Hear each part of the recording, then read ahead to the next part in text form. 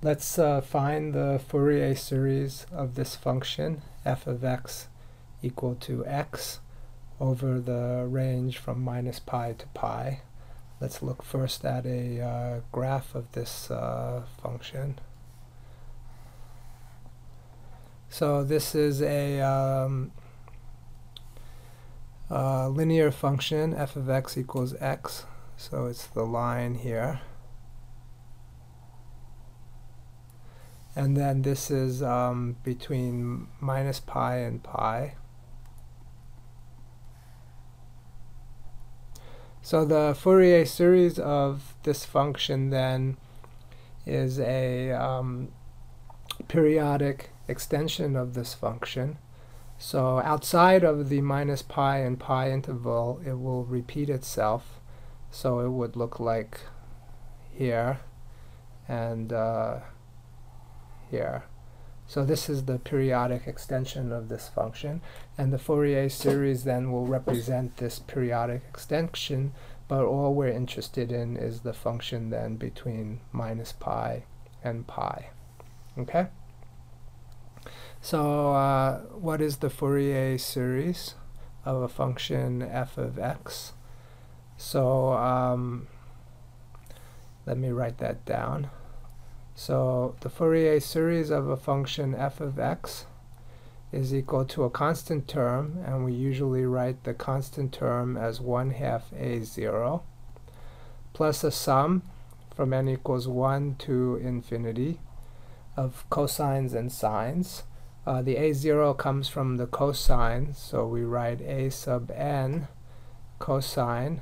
And here the argument is n pi x over l if the uh, Fourier series is periodic with period 2L, with period 2L, um, plus the sine, so b sub n sine n pi x over L. And then these coefficients, a's and b's, are determined from an orthogonality relation between cosine and sine. And if you do the math, you would get a sub n is 1 over L times the integral from minus L to L of f of x cosine n pi x over L dx.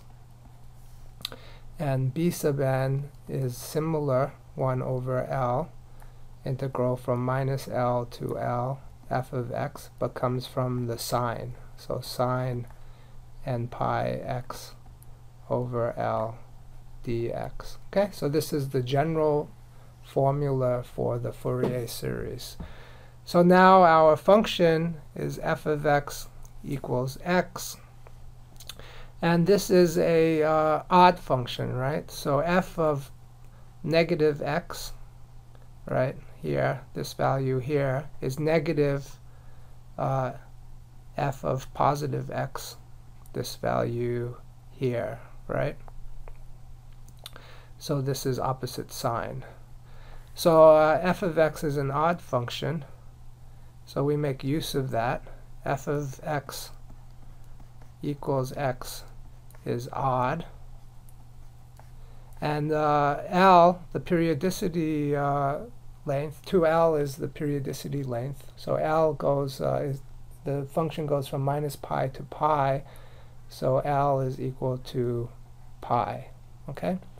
So the fact that f of x equals x is an odd function um, means that the function can be represented only in terms of sine. So all these a coefficients are 0 for an odd function. Um, and furthermore, the fact that it's an odd function means we only need to integrate from 0 to L and we can multiply by 2. Okay, so we can simplify um, the Fourier series for an odd function becomes a Fourier sine series. So let me write that.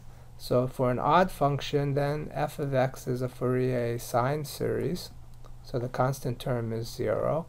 And we have the sum from n equals 1 to infinity b sub n sine n pi x over L, L is pi here, So it's just sine n x.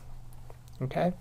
And then these coefficients, b sub n, are 2 over L, which is pi, 2 over pi, the integral from 0 to L, which is pi, 0 to pi, of uh, the f function, which is x, right, times the sine, sine nx dx. Okay, so this is the uh, the resulting Fourier sine series for our odd function. So the only thing left to do then is to do these integrals to compute um, b sub n. So let's do that. Um, we want to integrate by parts. We want to get rid of the x. So we uh, set u equal to x. And uh, dv then is equal to sine nx dx. So the derivative here, du is dx. And the integral of sine is minus cosine, right? So we have minus cosine nx. The derivative of this is uh, is a sine and brings out an n, so we have to divide through by n, and that will be our v, right?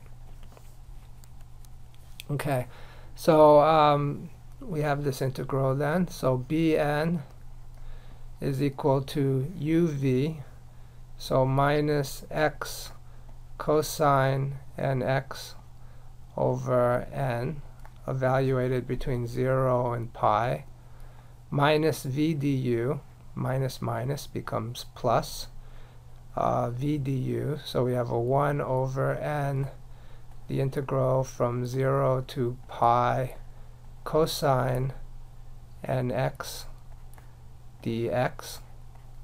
And then um, that's the integral 0 to pi x sine nx dx. And then don't forget, we have this factor of 2 over pi.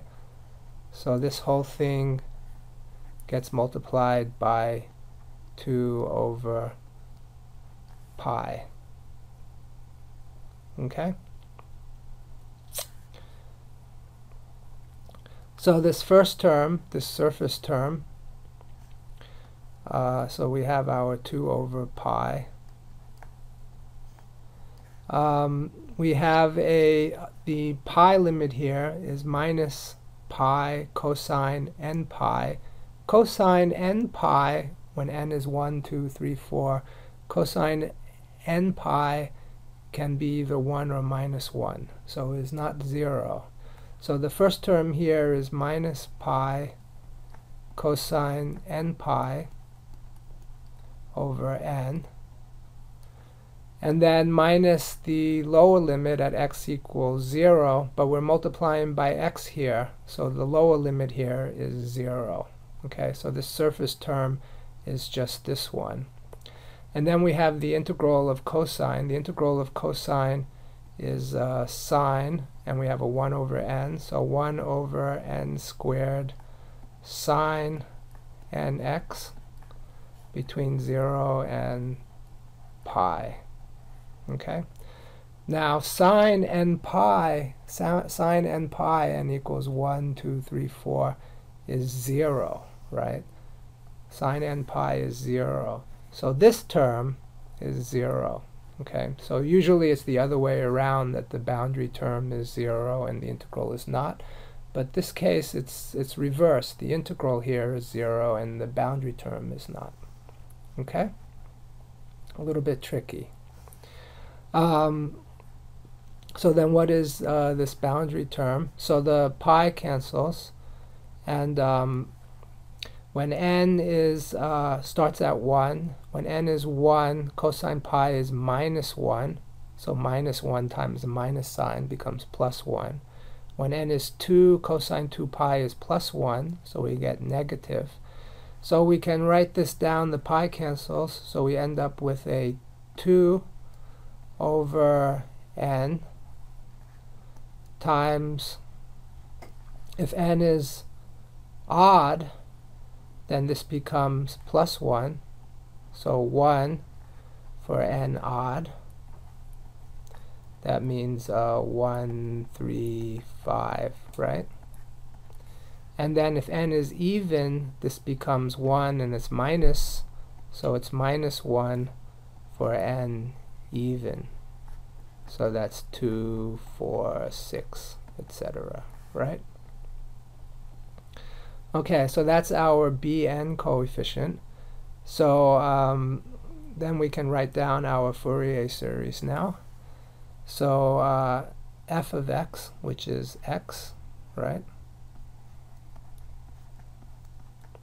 is then equal to the sum from n equals 1 to infinity bn sine nx, right?